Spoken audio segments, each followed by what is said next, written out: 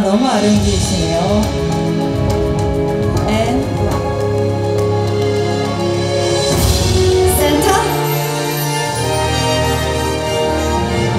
The difference is that in the second film we're not talking about mining or extraction. We're talking about the exploitation of the oceans. And I love the ocean. I love what it means to us uh, kind of symbolically even subconsciously. You know I think we all know that the, that the ocean is kind of our mother. It's where life came from. It's what moderates life on this planet, makes life possible for us. Um, and I think we also all know, uh, even if we try to tune it out, that the oceans are in trouble, that a lot of species are endangered, a lot of uh, whale species, a lot of dolphins are being killed as part of you know great fishing fleets and, and so on, and that we have to do better, we have to try harder. But that, that said, I think the film is an adventure first, first and foremost. It's a family story, first and foremost. It's a drama. It's an emotional story.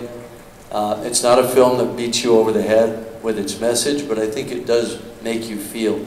I think it makes you feel more than it makes you necessarily think about it in terms of what exact. Doesn't tell you what to do.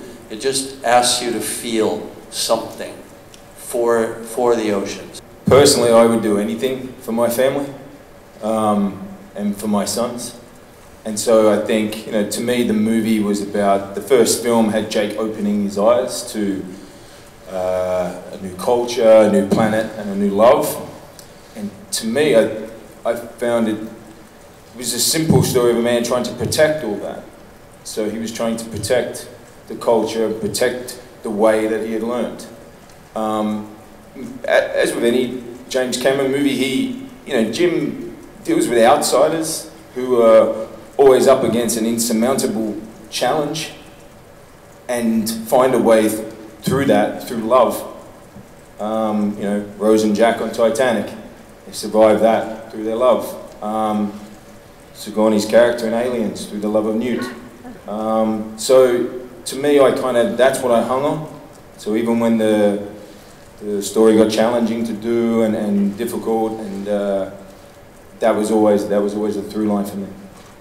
Yes, it, it does present its challenges. You know, you, there's a lot of training and preparation that took place, uh, but once again, um, we were surrounded with world-renowned free divers. Uh, we took our time learning to do this because it wasn't just about capturing emotion. It was it was definitely about capturing the emotion of what our characters were going through. So there was never this expectation that we needed to be the best swimmers. It was just about getting us to, to feel as comfortable as possible so that we can just devote our time and energy underwater to, to whatever moment our characters were, were experiencing. Pose for the center.